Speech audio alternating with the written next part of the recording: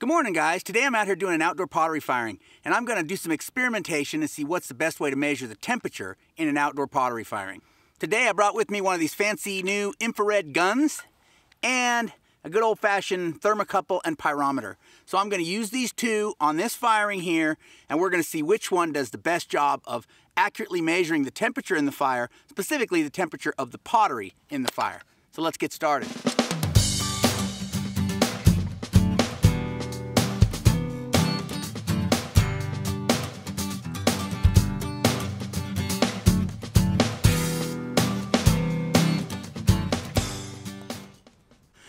I've been using a thermocouple on my firings for years now, and it's really convenient. It does a great job of measuring the temperature when it works. Sometimes where the wires connect to the thermocouple or the pyrometer, they get messed up and I need a little screwdriver and I gotta kinda pull them out, readjust them, tighten those screws in there. So um, occasionally it doesn't work. Nice thing is it doesn't need batteries, so uh, you can come out here in the field, and I got a million things to remember when I'm coming out to fire. I got to remember a shovel. I got to remember the pottery. I got to remember a lighter. I got to remember to bring cover sherds. I mean, there's just literally there's a, a hundred things I got to remember to bring. And batteries are one thing I don't have to worry about with a pyrometer because it doesn't use batteries. So that's nice. Uh, but one of the negatives on that is you have to set it up ahead of time. You have to, when before I stack the pottery in the firing, when it's coals, I have to set that pyrometer up and I have to bury the wire for two reasons. One, I don't want the wire to melt uh, when the fire gets hot. But also, I don't want to be tripping on that wire as I'm walking around the fire taking care of things.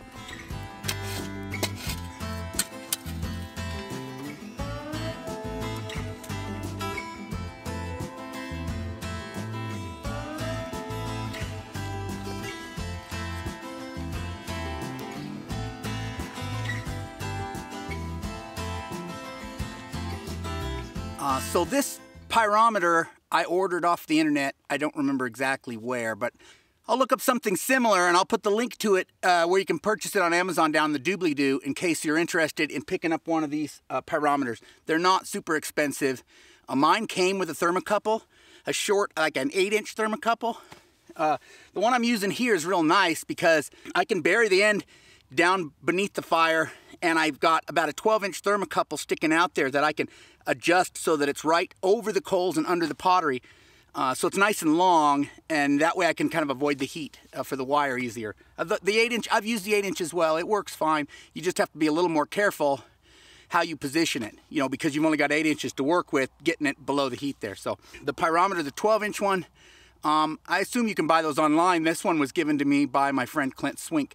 Uh, if you don't know who Swink is, uh, he's a well-known pottery replicator and I'll put a link to a video I made about Swink uh, right up here so you can check that out if you want to learn more about Clint Swink.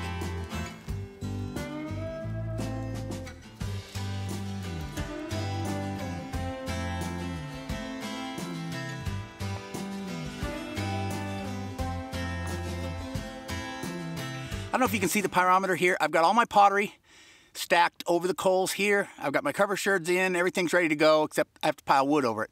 Uh, you can see the pyrometer here is showing about 250 degrees Celsius right now. So I'm gonna hit it with this and see if I get a different reading. Okay, so I hit it with the gun. Uh, some of those rocks that are sitting right in the coals are like about 280 degrees Celsius. Uh, the pots vary quite a bit. The bottoms of the pots are about 200 and some of the outside areas uh, towards the top are more like 80 degrees Celsius. So a lot of variability depending on where it's at. You know, those down by the coals are hotter, obviously. Uh, but of course, remember when we're firing, um, we want to fire all of our pottery. So it really doesn't make much difference if it gets hot enough at the bottom. Uh, if the top is the coolest part, which we don't know, but we'll hopefully find out soon, we want to make sure the top of the pottery gets to that desired temperature. So this may be very helpful for that since it's hard to get that thermocouple, you know, up in a position near the top of the pottery in the firing. So we'll see.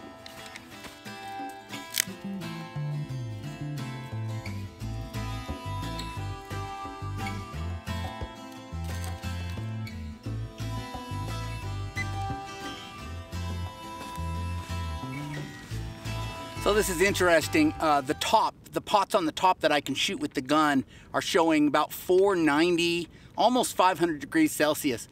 And those that I can shoot in at the bottom are clear down at like two, 300 degrees Celsius. So we've got a huge difference uh, because of the convection column, that is the hot air that's rising. We're actually a lot hotter at the top than at the bottom. And the pyrometer would never tell us that. The pyrometer's reading almost 400 degrees Celsius now. So a little bit of difference there, maybe at least 100 degrees Celsius between the top and bottom of the pile of pottery right now. Okay, so the pyrometer's showing about 550 degrees about 550 degrees Celsius on the pyrometer right now. And I'm gonna hit it with the infrared gun.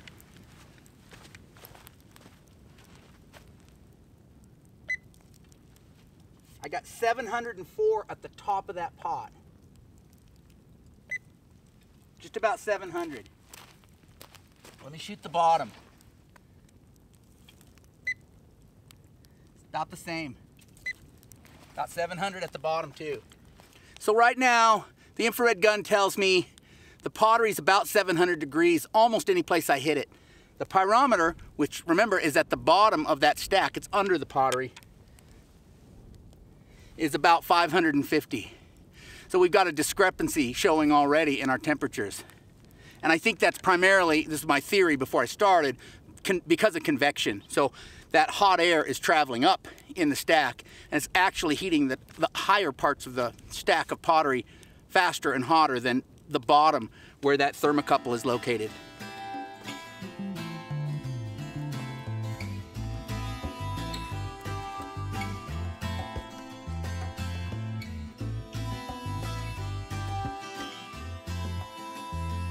Okay, so it was burning down to coals. A lot of the wood had completely kind of crumbled into little bits. Uh, maybe I didn't use quite enough large material on it, and it was cooling off a lot. According to this, the, uh, the thermocouple showed the temperature was still rising, but remember the thermocouple's at the bottom, it's sitting right above those coals. Using the infrared gun, I was able to hit the temperature at the top and the outsides of the pots, especially the parts that were becoming exposed as the coals fell away. And what that showed me was those areas were cooling down significantly. So while underneath we were looking at over 700 degrees Celsius, at the outsides and at the top, we were we were right around six, so 100 degrees cooler and so I realized what I needed was a, a little boost, a little pick me up, maybe a little more coals over the top to kind of get that up to around 800 degrees and maybe burn those a little cleaner and harder. So I got an armload of more wood and I piled that over that. And now hitting it with the infrared gun all over, uh, we're showing right around 800 degrees most places on the pottery. Uh, and this thermocouple is now showing um, about, about 750 which uh, I suppose, but underneath there, I would think it'd be nice and toasty. So I don't know if it's a little slower to react. Uh, you know, it measures it differently, where this is measuring the surface temperature on the outside of the pot. That is measuring the air temperature, uh, you know, below the pottery. So it's a little different. Um, so if I was just reading this, if I was just reading the pyrometer, I might think I still needed more push to get it to where I wanted it. Uh, but the infrared gun shows me that I've reached 800 degrees all over, so I, I think I'm gonna be plenty hot to fire these pots real good. I'm just gonna let this burn to coals now.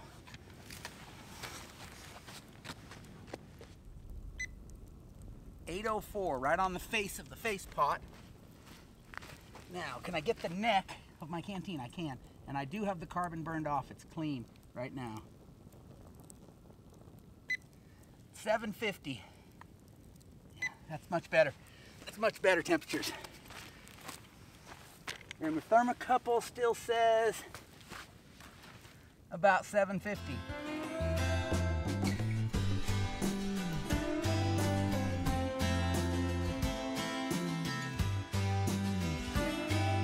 Okay, let me show you something. And this is regarding the superiority of the infrared gun, right? So the thermocouple right now is reading uh, just a hair over 700, maybe 720, okay? And that's, remember, that's under the pottery. So let's hit it with the infrared gun and see what we got. Because you can see this hole here is the whole outside of my canteen right there is exposed. So I can hit it with the infrared all over. So let's see what we got. Uh, and you got to make those two dots come together. And I've got 503 right below the neck, okay? So let's hit the middle, the body, right? in the center. 579. So we've come up a little bit, just coming down a couple inches. Now let's hit the bottom. At the underneath, can you see that? 781 degrees. We're almost 800 degrees at the bottom of the pot and like 500 at the top. So we've got a variance of 200 degrees there. And that's 200 degrees that the thermocouple is not reading for us. So the thermocouple is telling us that it's over 700 degrees. And you would think, you know, the pot was over 700 degrees, but that's not true. Remember early on, the top was showing hotter than the bottom.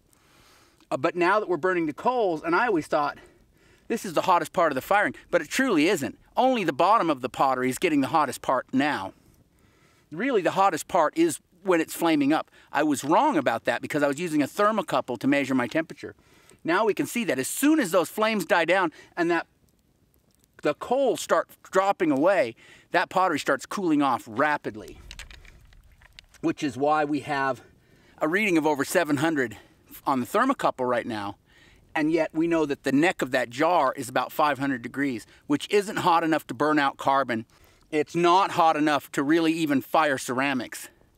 Um, so at this point, the top is not, it's just warm. It's not doing anything good for it at this point. It might be burning out some carbon, but I think you've got to get over like 650 to start burning carbon off. So we're pretty much stagnant at the top and uh, only the infrared gun is able to tell us that because I'm able to hit the temperature in various places.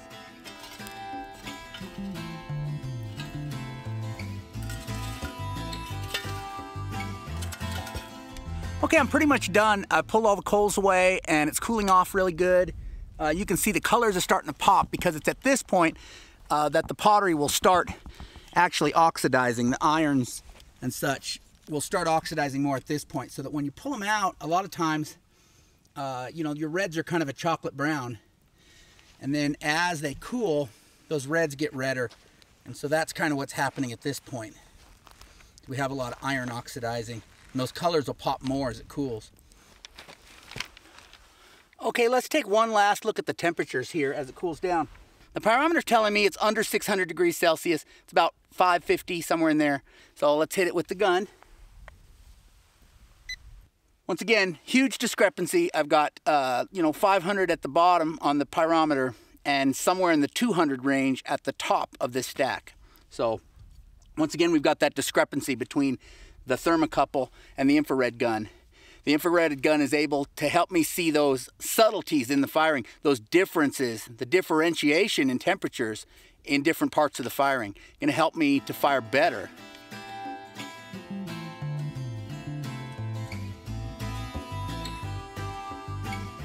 All right, let's review my results really quick. Um, the pottery is cool enough to touch now, and it came out real good. Got some ash on it, needs to be washed, washed off. Uh, I've got some neat uh, kind of blushing going on, places where it oxidized more and less, so there's kind of orange and red kind of playing around in here, which looks really cool. Uh, so that was a neat effect that I'm not sure how I accomplished. This is that new material that I collected in the White Mountains last year. So this is the first time I've actually fired this, I think. Anyway, if you want to see where I collected this material, I'll put the link to that video over there. Okay, I think that came out real good. And these were both uh, part of the Ancient Pottery Challenge. So if you don't know what that is, that's the 10 unique forms from the Ancient Southwest that I'm making this season. If you don't know what it is and you want to watch that video, I'll put the link up here as well. This is the Huerigos Polychrome Face Pot. Rings real good. Came out real good. I don't have access to the clay they used for that uh, and Huerigos polychrome, which is really, really orange. But I think this came out pretty good. It's not that far off from what it really is. It's a little, it's a little browner than it should be. Uh, and certainly, Casas Grandes types never have fire clouds, but these are some pretty cool fire clouds. I, I like those. I think they're really cool. You've got you know, shades of orange and yellow and kind of gray and black kind of playing around on there. It's really beautiful. So I think that came out nice too. Um, so they fired plenty hard. These are both made with that Pima clay uh, that I collected in the beginning of this season. You can go back and watch that video if you want. Now, about the methods of measuring temperature, okay?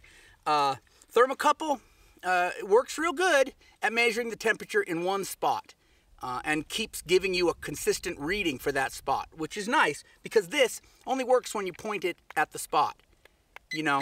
So, uh, and you never, sometimes you don't hit the same spot each time. So it, you know, it varies more. This is, this is a constant.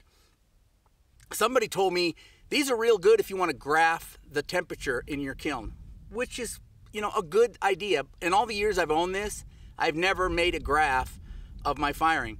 And now that I realize how much the temperature varies from the bottom, where the thermocouple is, to the top and on the sides, uh, makes me realize that those graphs aren't worth very much because what good is a graph of the temperature if it's not an accurate reflection of what the pottery is going through? And it's not.